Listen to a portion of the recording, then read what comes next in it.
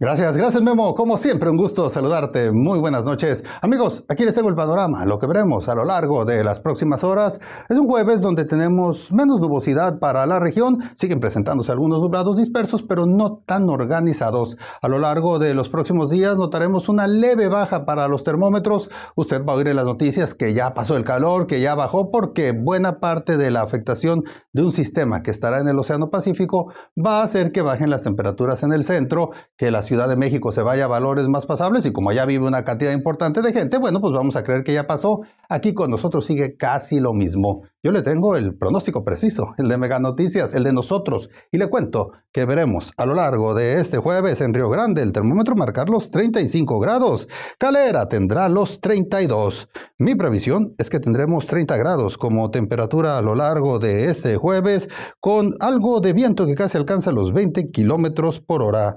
Luego, hacia los próximos días, van a mejorar en cierta forma las temperaturas, no tan marcado, pero bueno, de los 30 que espero para mañana, la próxima semana vamos a estar en los 27 y como dicen, de lo perdido, lo que aparezca. Este es el pronóstico del tiempo de Mega Noticias.